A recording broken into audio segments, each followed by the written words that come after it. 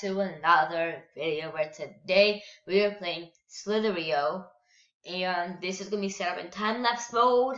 just like I've been doing for the um, last few episodes so let's hit play and get right to it